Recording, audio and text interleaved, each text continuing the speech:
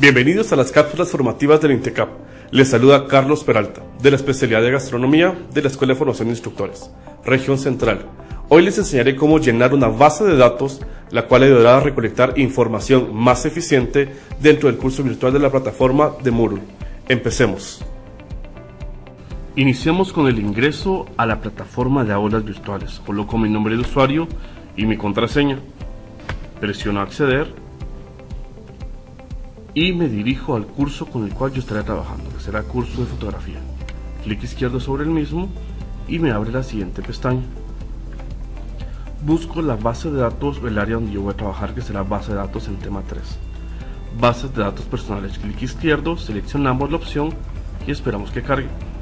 En este caso yo ya tengo una base de datos cargada y les enseñaré cómo ingresar los campos a la misma. Ver individual. Bases de datos en este curso aparecerá de la siguiente manera. Añadir entrada y demás. Ahora, eliminaré esta base de datos ingresada o esta entrada ingresada para poder cargar una de nuevo y usted ver el mejor el ejemplo. Listo. Habiendo eliminado una base de datos, voy a añadir entrada y veo lo siguiente. Me aparecen varios valores que ingresar. Como es el caso, veo aquí datos importantes. Tamaño máximo para nuevos archivos es de 100 kilobytes. Número máximo de archivos 1. Vistas miniatura como detalles de archivo o como raíz o como árbol de archivos. Añadir fichero. Lo puedo hacer desde una dirección o arrastrando y soltando como me indica la plataforma. Selecciono mi imagen. Arrastro y suelto. Listo.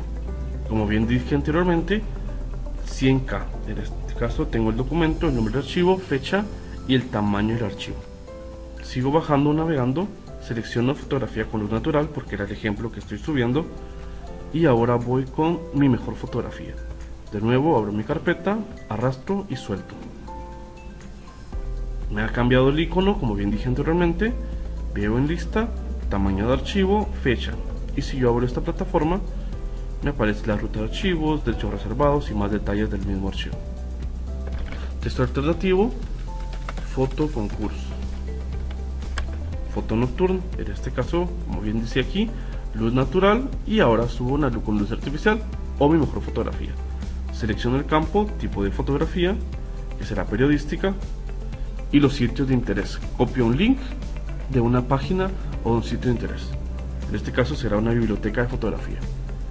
Marcas. Esto es para crear un hashtag o una etiqueta. Las etiquetas sirven para encontrar más rápido un documento. Escribo Carlos, como bien dice aquí, coma. Escribo las palabras separadas por comas. Voy a poner oveja, coma, nocturno, coma, luz natural, coma. Guardar y ver ahora ya aparece borrado el botón de agregar entrada pero queda activo siempre la opción de lista, ver y buscar. Como bien enseñé anteriormente, fotografía natural, mi mejor fotografía que será la de, la de portada sitios de interés, etiquetas.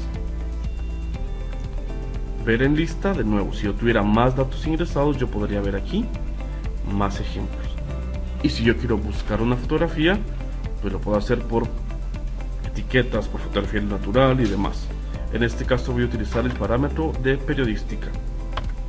Guardar ajustes y como verán a continuación aparece aquí la fotografía. Espero que esto sea de su interés. Seguimos con más contenido. Espero que lo aprendido les sea de mucha utilidad y pueda ponerlo en práctica. Lo invito, siga viendo los videos del canal, no olvide suscribirse, darle un like y compartir. Hasta luego.